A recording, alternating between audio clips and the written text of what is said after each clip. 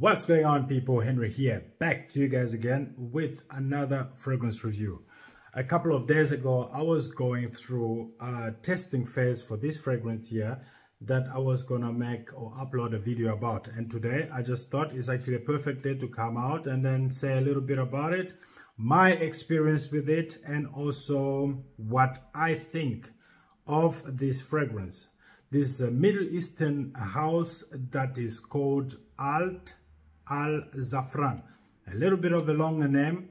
Like I said before, I'm always struggling with these, uh, you know, Middle Eastern names because they're just not my, you know, I think you know what I mean. If you are a perfume person, you know exactly what I mean. So they've got some nice perfumes, but some of them are trying to use really usable words and some of them are just using what they know what to use and they're giving it to us but some of the fragrance are really nice so we can't we can't deny it. We have to talk about it.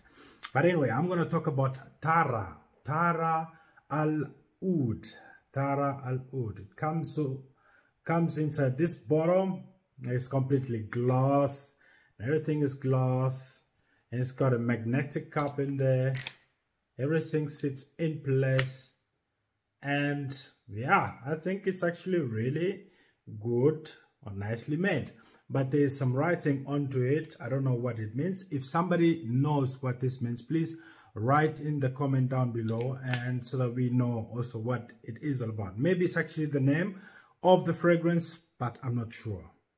I don't speak arabic but i know there's my brothers and sisters out there that actually do speak the language. So if you know about this fragrance i'm just going to put all the names inside there look it up check out what the names or what this writing on top means and you know just teach us a little bit because i'm also here to learn and like everybody else.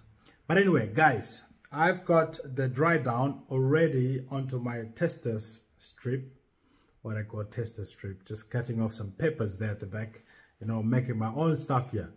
So i've got this on my tester strip Ah, and I'm just gonna also spray for you guys to see the atomizer, how it comes. Jesus, what the hell? this is like really AMG style gas. It's too much. It's coming out like crazy. Atomizer is over the moon. Jesus. Well, good, good. Well, that's a good one. But anyway, before I talk about it, I'm just going to go through the note breakdown from this perfume so we know what we are dealing with. So anyway, cardamom, that is the top note. We got roses, we got vanilla, we got spices and powdery notes. Okay. And then in the base note, now, in the middle on note, we've got incense, we've got sandalwood, we've got uh, woody notes, and we've got roses again. So we are already in business with roses. And then the, the, the base note is a leather, amber, and musk.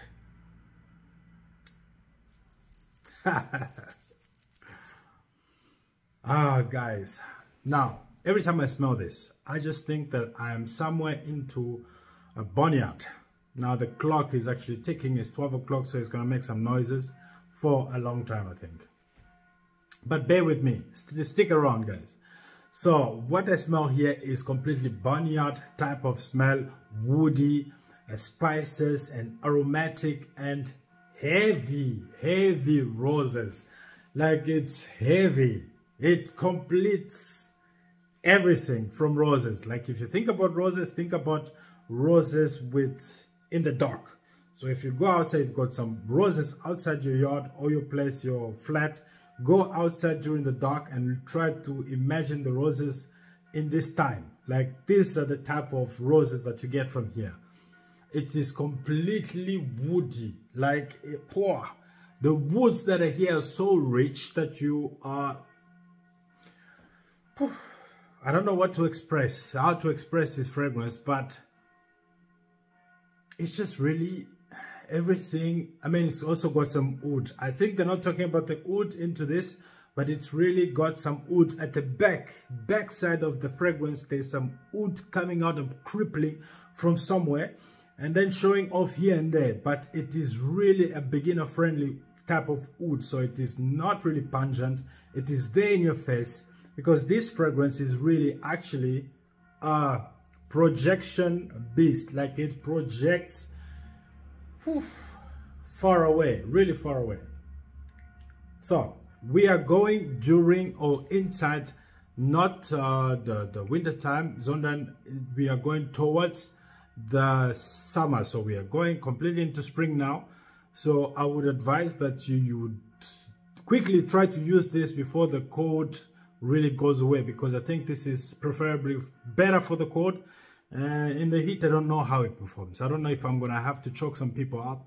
People are gonna call police and then i don't know what they would try to report. I feel sorry for them but whatever it is. But anyway what I'm saying is that this fragrance is for winter. Please, winter time comes, organize this, organize this. This is over the moon, over the moon. Oh man, this is really beautiful. It is beautiful. It is nice. It is heavy. It is dense.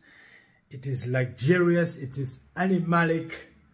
Oh man you need to have like a leather jacket on, a really big leather jacket with some furs or I don't know, some something going on there. But it has to be a big leather jacket. It must be cold and you must be in the mood to go out, take a walk or whatever. Go to the city, do something with your life, whatever. And then use this fragrance. Guys, this is such a nice fragrance. I don't even know why people are not talking about this. Like, what the hell is going on out there, guys? We can do better than this. We can do better than not talk about something like this. I mean, it's going around for 45 euros during the um, on the internet and stuff. So it is actually not that expensive.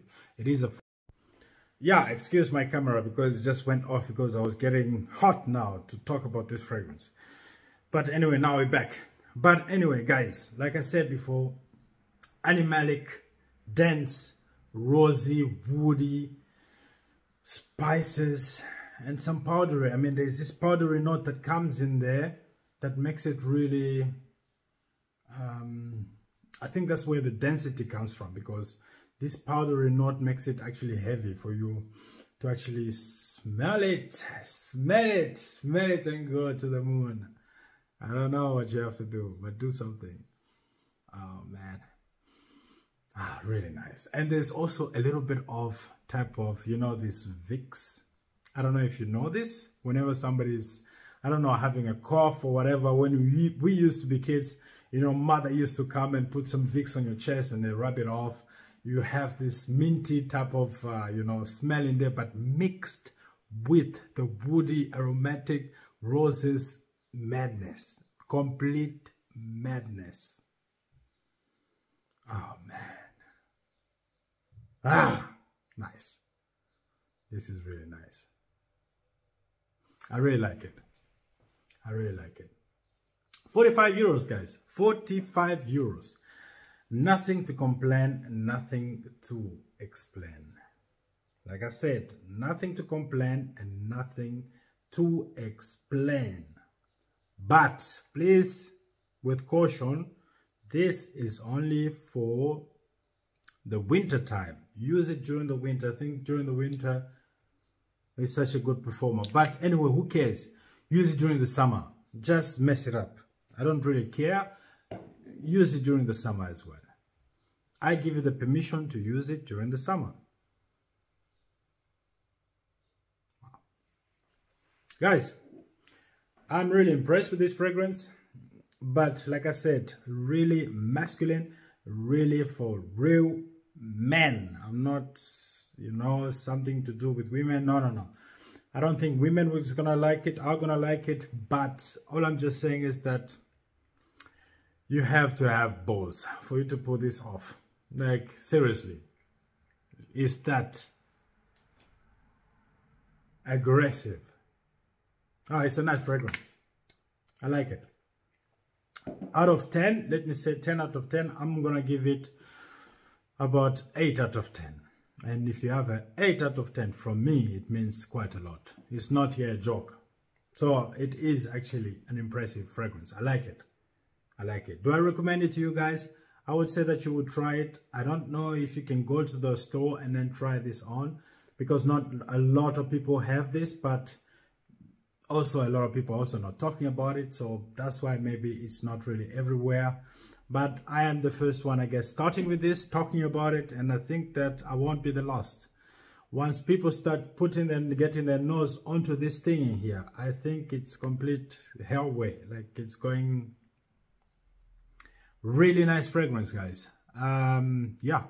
So that's my take onto this fragrance. The name is Thara al oud from the house of Ard al Zaafaran really impressed from this fragrance and i'm actually really happy to actually produce this video for you guys. Yeah that's all uh, that's all a little bit about it. And yeah guys you know the story. Subscribe you know put your comments. What do you guys think? If you have any experience with this guys i would like to know. I would like to know. What the hell? Thank you for watching guys. See you guys next time. Ciao